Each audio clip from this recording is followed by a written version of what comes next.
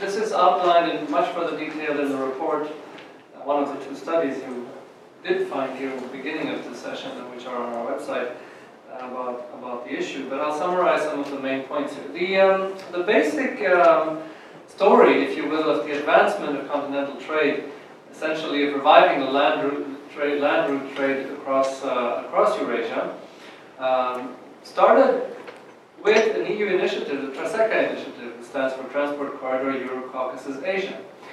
And it is interesting that when we talk about this issue today, uh, the EU's role has faded into more or less oblivion, in spite of some revival to some extent of this initiative in, in the very recent past. Uh, in fact, what we've seen is the uh, introduction of other initiatives by outsiders.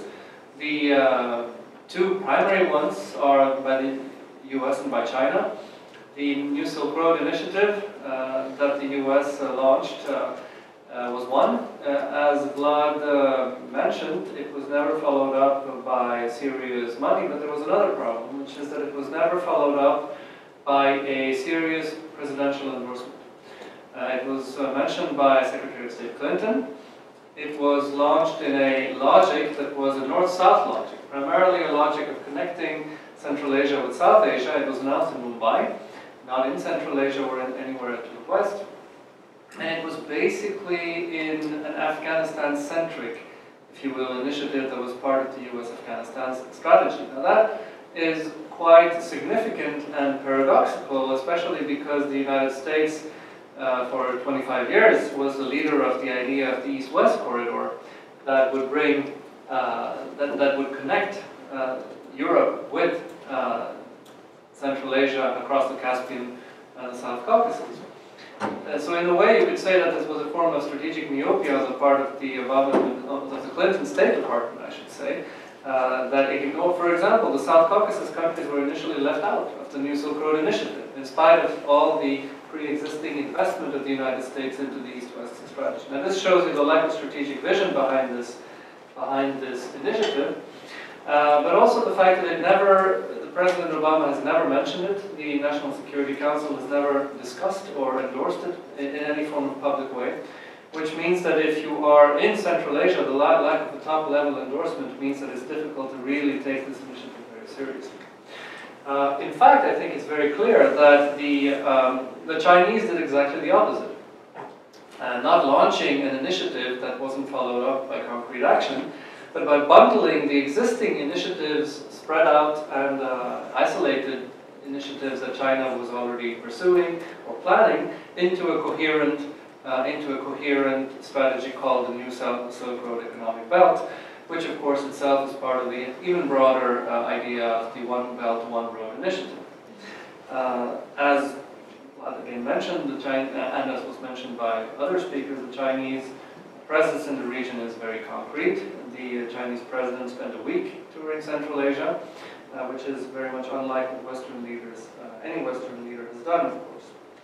Uh, now, those are the initiatives from the outside, if you will. but I think the equally important that as the outside initiatives are the initiatives arising from inside uh, not only Central Asia, but inside the East-West corridor. Because after all, the main direction of trade that we're talking about, which makes the continental transport uh, viable, is the booming trade between Europe and the edges of the Eurasian continent, if you will, Western Europe and, and East Asia between the EU and China.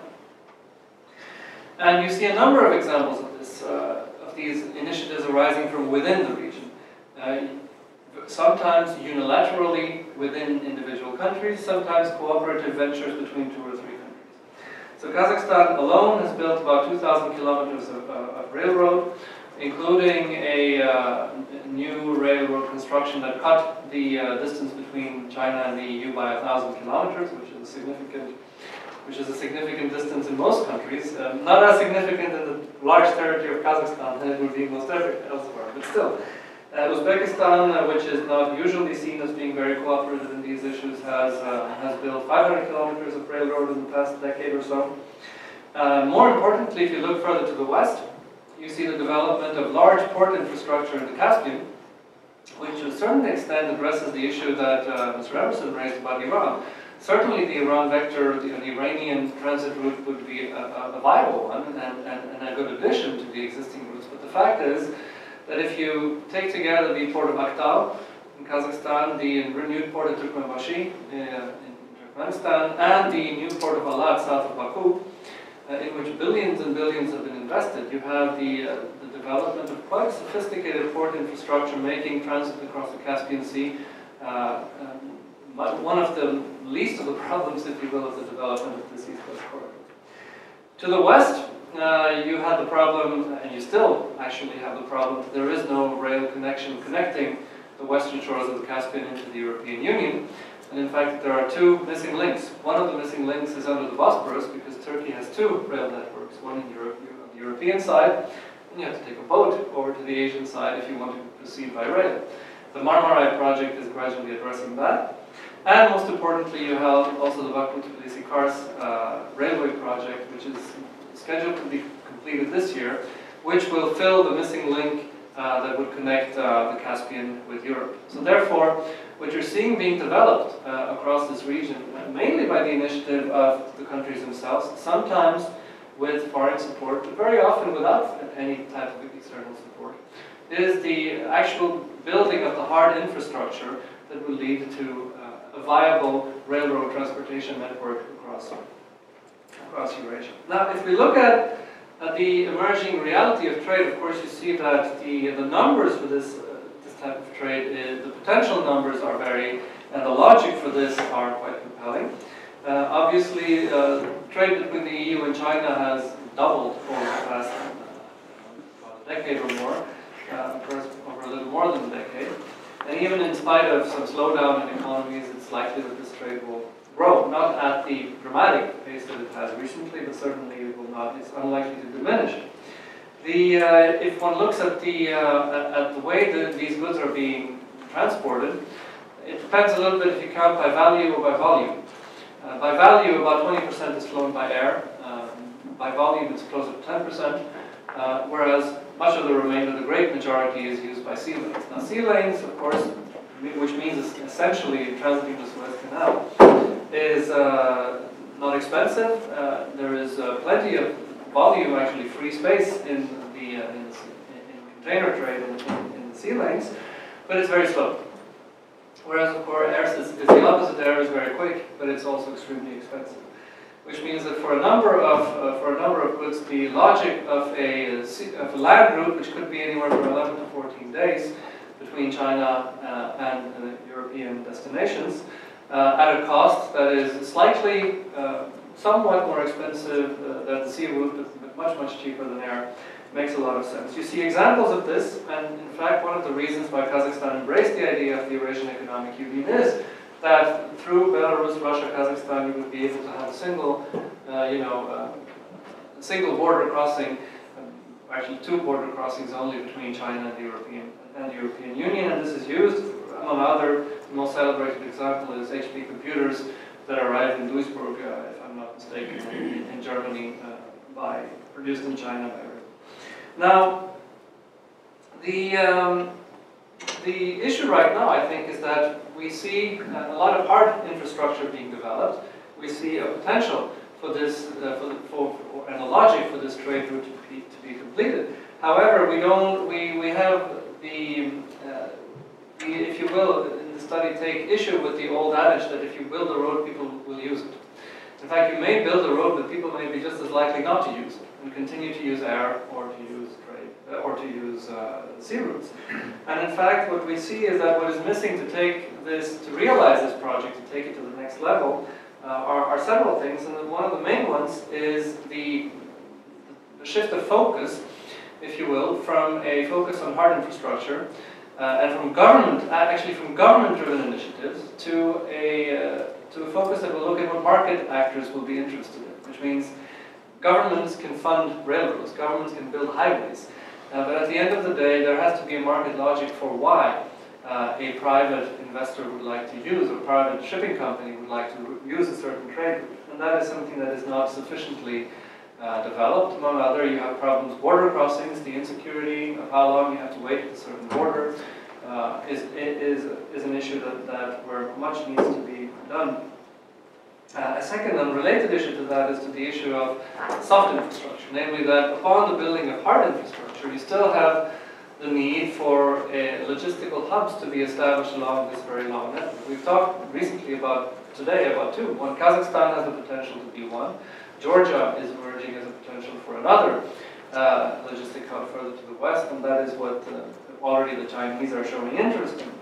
So what does soft infrastructure mean? It really means that the uh, traded, trading routes will develop depending on the existence of, uh, uh, of uh, shipping centers, storage centers, insurance centers, even features such as the quality of hotels and the quality of the support infrastructure for trade and for logistics that exist in a given country or region.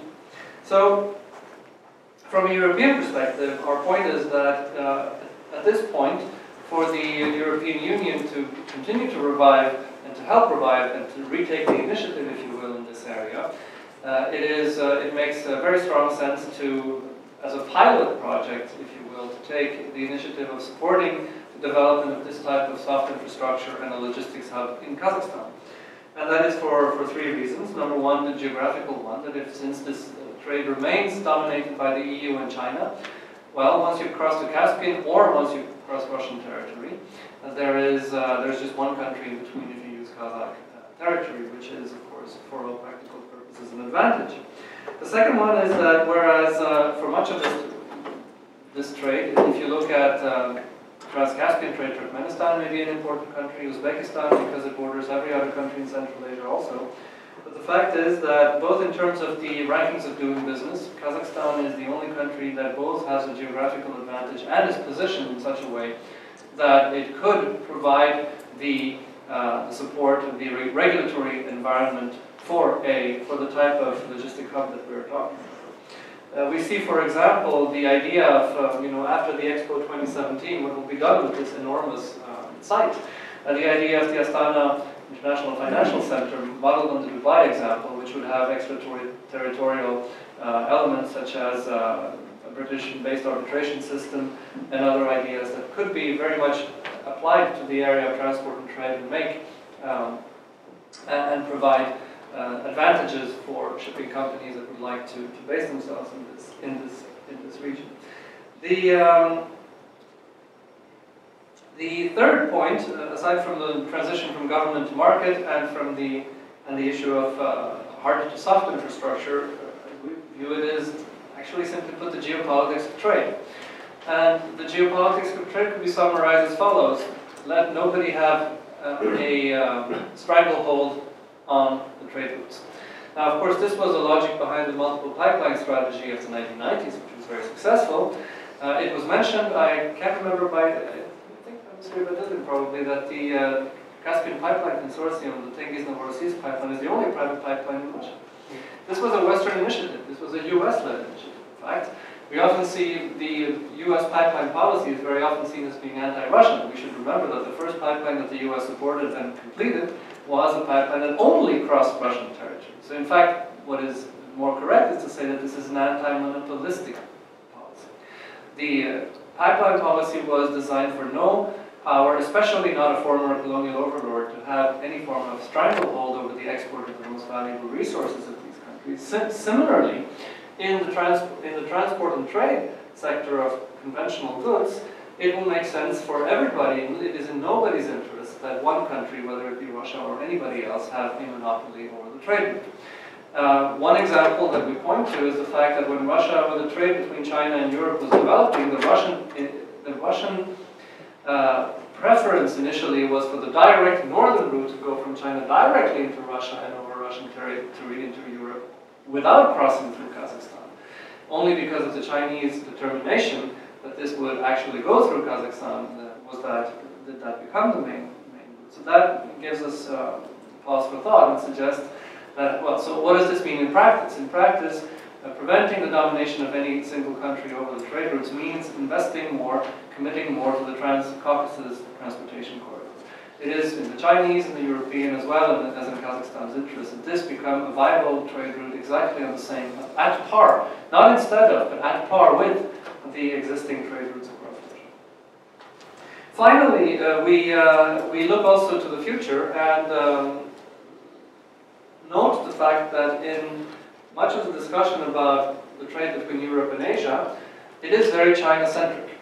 Now, in the report we have a number of statistics about the role of the Asian subcontinent in this trade, and it is minor. Uh, if you look at the trade between India, hardly it's hardly visible on some of the graphs. Um, now, that is partly because if you are in Central Asia, it's difficult to get to India. You have the Afghanistan problem, and every other trade route is very complicated. But if you look 30, 40 years into the into the uh, into the future, you have to consider the fact that, if nothing else, because of simple demographic reasons, China is going to stagnate. Whereas the simple demographic makeup of the Indian subcontinent means that you have a market there that is going to be considerably larger uh, than the Chinese market.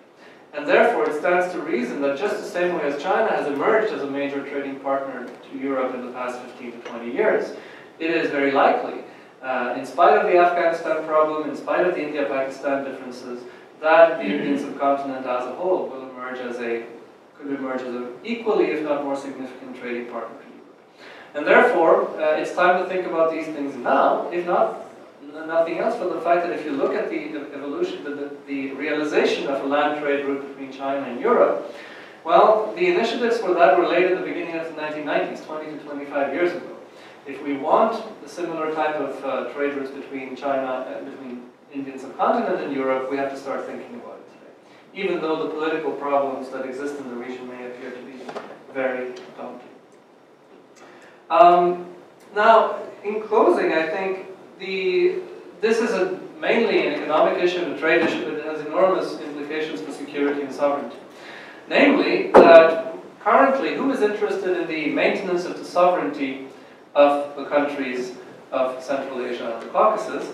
Well, there are some, aside from the countries themselves, there are some defense planners in the United States, there are some political leaders in Europe and the US who view, and in China not least, who view this as an important political issue. But the point is that once you have a major artery of trade between Europe and Asia transiting this territory, the rationale from also a private sector perspective for the uh, sovereign, for the maintenance of sovereign sovereignty and stability, and for drive for political reform across this territory will be mounting, just as nobody wants to mess with the Suez Canal, and nobody would want to mess with the uh, sovereignty of the countries of Central Asia, and especially Kazakhstan, if a major trade route between Europe and Asia goes through this territory. That, I think, would uh, summarize our main